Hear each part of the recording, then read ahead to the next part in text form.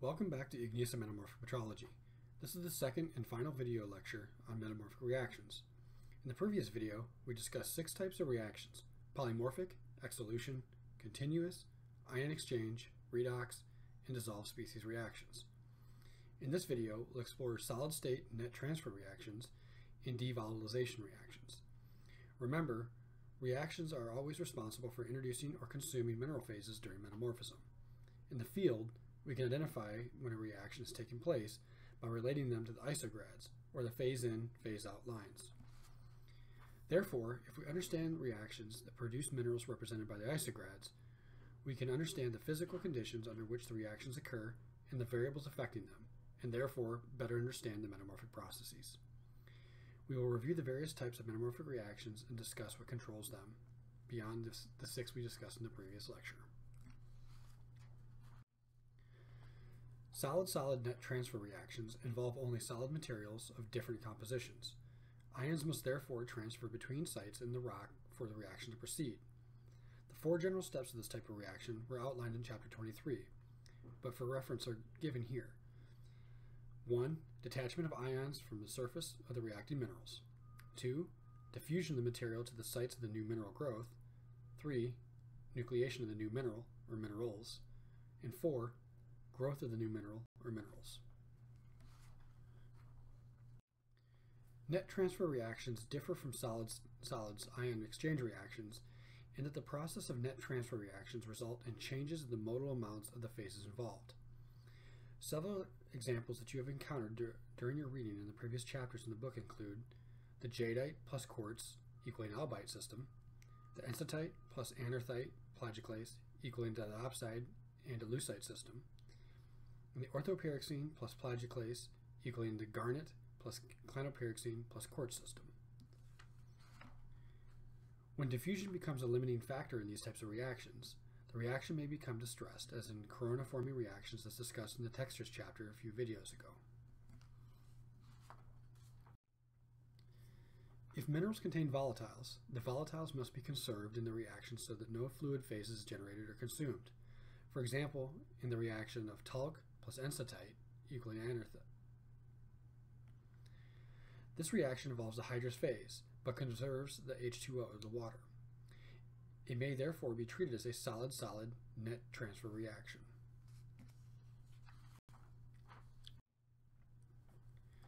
Polymorphic transformations, exsolution, and solid-solid net transfer reactions with, with little solid solution are relatively straightforward metamorphic reactions and are subject to variations in pressure and temperature without complications due to variations in rock or fluid compositions. The presence of reactants versus products has often been used in conjunction with experimental work that constrains the location of the reaction in the PTX space to set limits on the temperature and pressure conditions of the metamorphic event.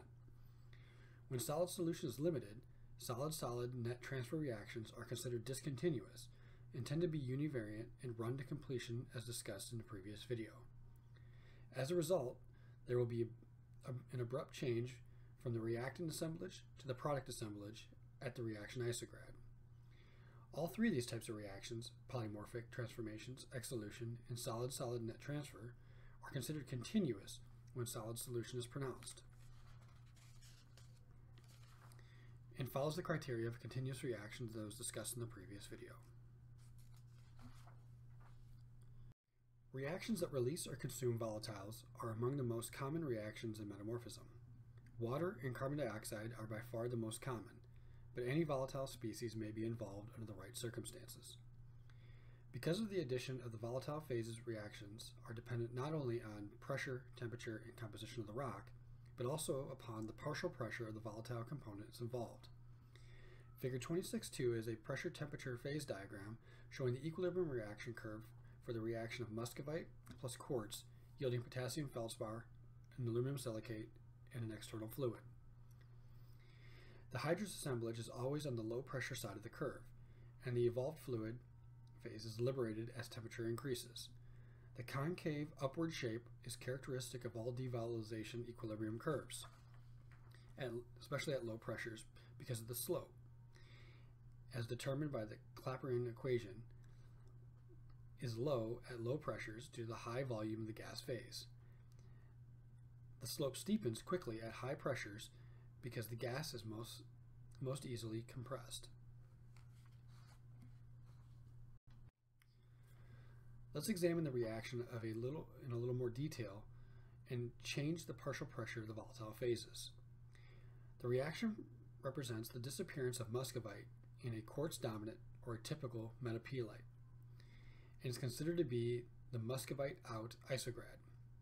The PT phase diagram shows the equilibrium reaction curve for the reaction.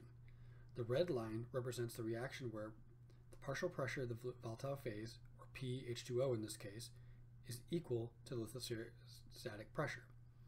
This is a common assumption, and the red curve represents the typical shape of the equilibrium curve for a dehydration reaction. The hydrous phase is almost always on the low temperature side of the curve, and the evolved fluid phase is on the high temperature side of the curve, since it's being freed from the mineral structure. When we apply this to the Clapeyron equation, which is dP over dt equals delta S over delta V, where P is pressure, T is temperature, S is entropy, and V is volume, we see the slope steepens with higher temperatures due to the high volume of the fluid phase at low pressures and compression of the volume of the fluid phase at higher pressures. Basically, this means that the volume of the fluid can occupy decreases much more rapidly than the entropy decreases as pressure increases. At very high pressures, the vapor becomes more compressed so that devolatilization occurs curves actually bend back towards themselves and obtain a negative slope that can theoretically close the loop upon itself. This brings us to why we did not discuss blue schist facies in the previous videos. The transition from green schist to blue schist facies at high pressure, low temperature facies series are unusual in that they require this loop to be stable and are distinguished by having hydrous phases on a high temperature side of the so that retrograde de dehydration occurs. If the rock continues to prograde to eclogite facies, the reaction devolatilizes and becomes normal again. Suppose water is withdrawn from the system at some point on the water saturated equilibrium curve, where the partial pressure of the fluid, or water in this case, is less than the lithostatic pressure. According to the Le Chatelier's principle, removing water at equilibrium will be compensated by the reaction running to the right, thereby producing more water to compensate for the loss. This has the effect of stabilizing the right side of the reaction the expense of the left side. So as water is withdrawn from the K feldspar plus sillimanite plus water field expands slightly to at the expense of the muscovite plus quartz field, and the reaction curve shifts towards the lower temperature. Figure 26.2 shows the calculated shift of the, of the partial pressure of the water for values of 0.08, 0.06, 0.04, 0.2, and 0.1 times the lithostatic pressure. The partial pressure of the water can become less than the partial the lithostatic pressure by either two by either of two ways. One, the pressure of the fluid is less than the lithostatic pressure by drying out the rock and reducing the fluid content. Or the fluid pressure equals the lithostatic pressure, but the water in the fluid can become more diluted by adding another fluid component, such as carbon dioxide or some volatile phase. In figure 26.2, when we look at the calculated curves for the latter case on the basis of ideal water carbon dioxide mixing. An important point arising from figure 26.2 is this.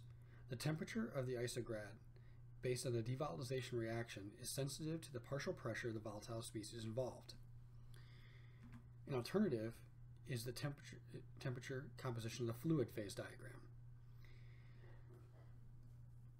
Because water and carbon dioxide are by far the most common metamorphic volatiles, the X and the TX diagrams usually is the mole fraction of carbon dioxide or water in the H2O CO2 mixture. Because pressure is also a common variable, a TX fluid diagram must be created for a specific set of pressure conditions. Figure 26.4 is a T temperature composition water diagram for the reaction 26.5 in your book, in which the lithostatic pressure is 0.5 gigapascals. Because water and CO2 are the most common volatile phases in the metamorphic reactions, the X in this diagram representing the mole fraction of CO2 in the H2O CO2 mixture. As a result, we can calculate the composition, X, of the CO2 by looking at the composition, the number of moles of CO2 over the total moles of CO2 plus water, where N is the number of moles or mo molecules in each fluid species. The temperature composition fluid diagram, though, can be created for any fluid species desired. The most common diagram used uses temperature on the y-axis and composition of the fluid on the x-axis, and sets the diagram for a specific pressure.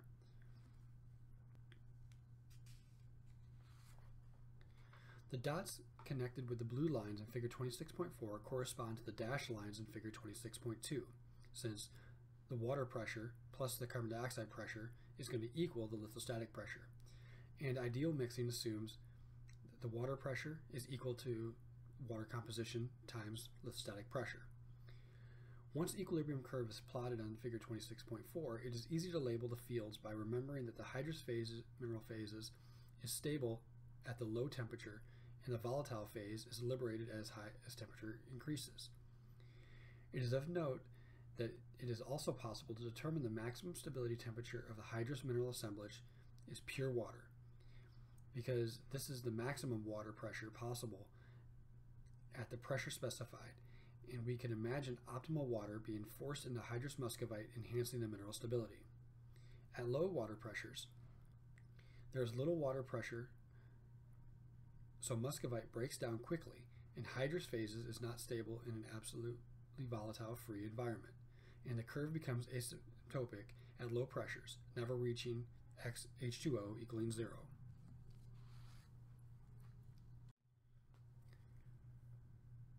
The shape of all dehydration curves on the TX fluid diagrams are similar to the curves in figure 26.4. Maximum temperature at the pure water end and the slope gently and slope gently at the high XH2O, but steeper towards low H2O, becoming near vertical at very low H, XH2O. Reaction temperatures can thus be practically any temperature below the maximum water pressure equaling lithostatic pressure. For most reactions, the reaction temperature varies less than 200 degrees centigrade. Nonetheless, one must take great care to constrain the fluid compositions, if at all possible, before using a devolatilization reaction to indicate metamorphic grade.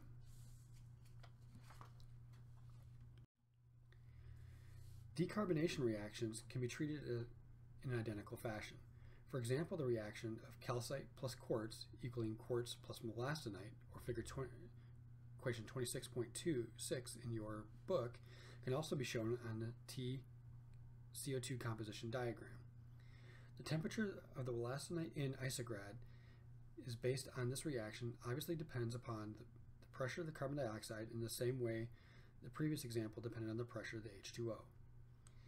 The reaction has the same form as reaction 26.5, only the maximum thermal stability of the carbonate mineral assemblage occurs at the pure CO2. In his theoretical and experimental study of the magnesium, silica, water, CO2 system, Greenwood in 1967 distinguished five principal types of equilibria involving the CO2 H2O fluids. Each type has its own character shape based on the, the TX fluid diagram, as shown in figure 26.6. The five types are based on which volatile components are consumed or liberated as temperature increases. The first is dehydration reactions, such as the reaction in equation 26.5. Second is decarbonation reactions, such as the reaction in equation 26.6, both of which we just previously discussed. The third is a combined dehydration decarbonation reaction. An example of this would be magnesite plus talc equaling forsterite plus free CO2 plus water. We'll discuss this more in just a few minutes. Prograde reactions are reactions that consume water and liberate CO2. An example of this would be magnesite plus quartz plus water equaling talc plus CO2.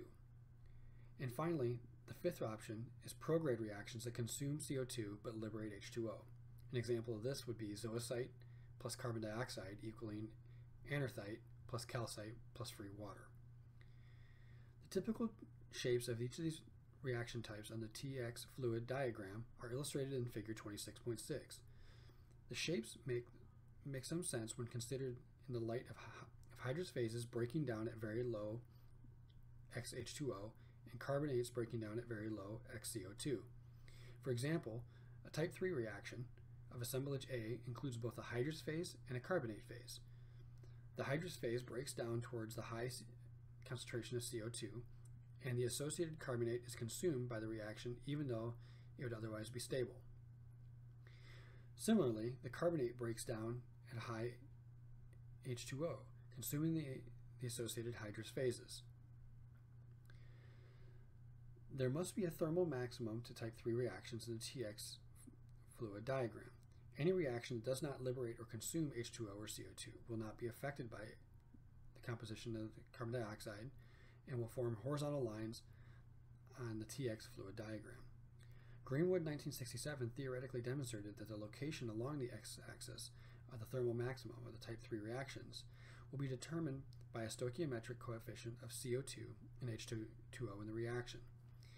If equal molar quantities of CO2 and H2O are freed, Tmax will occur at a composition of CO2 equaling 0.5. In our example representing type 3 reactions, we have 5 moles of CO2 that are freed for each mole of H2O. Therefore, Tmax will be located at, at XCO2 equaling 0.83. So this concludes our discussion on metamorphic reactions for now. Hopefully this clarifies how crystallization in metamorphic environments works and clarifies how we have the different different grades of metamorphic rocks.